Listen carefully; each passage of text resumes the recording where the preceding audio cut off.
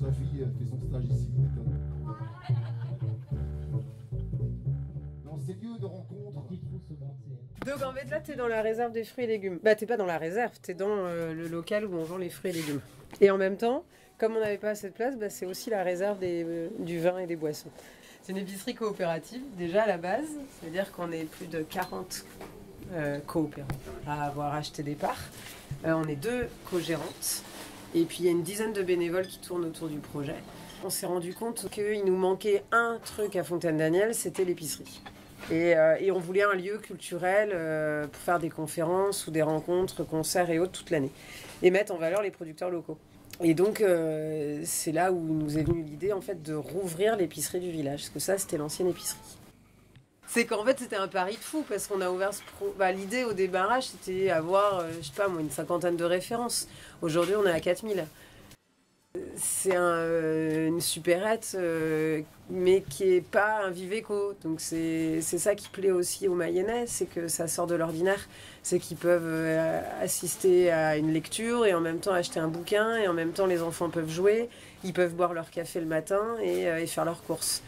Et euh, ce qu'on a essayé, c'était de mettre en valeur les producteurs du coin. Donc il y en a une quarantaine représentés. Plus après, euh, c'est, on est à 85-90% de produits bio. Et après du conventionnel. Donc on est resté sur du conventionnel pour les produits de première nécessité. Tu vois, le café, le thé, le beurre, le camembert bon mayennais, tout ça, c'est, euh, en conventionné. Bah, Il y a du bio et du conventionné. Donc les gens s'y retrouvent sur le jus d'orange, les gâteaux. Et, euh, et ça a permis de garder euh, les gens du village. Au début, quand on a voulu euh, lancer le projet, ben, il fallait aller chercher des financements. Et tous les élus nous soutenaient. Et la région, le département, ils se sont tous bousculés pour que ça ait lieu. Et ils nous ont fait confiance. Mais après, tout le monde disait, mais ça va jamais marcher, vous êtes 180 habitants, donc ça peut pas fonctionner. Et en fait, si. Parce qu'ils avaient oublié que Fontaine-Daniel attire du monde avec Toile de Mayenne, que c'est un lieu atypique parce qu'il a encore gardé du charme, qu'il y a une belle place, qu'il y a l'étang, la forêt, et que les gens aiment se promener ici.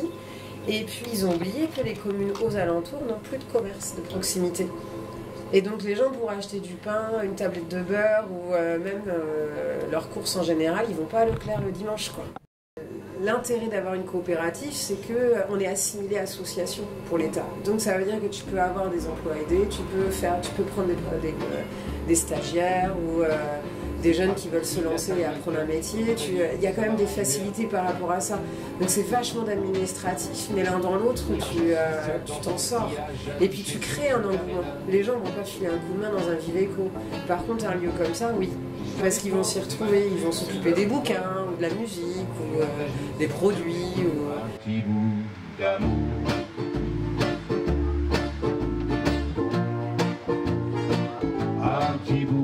d'amour.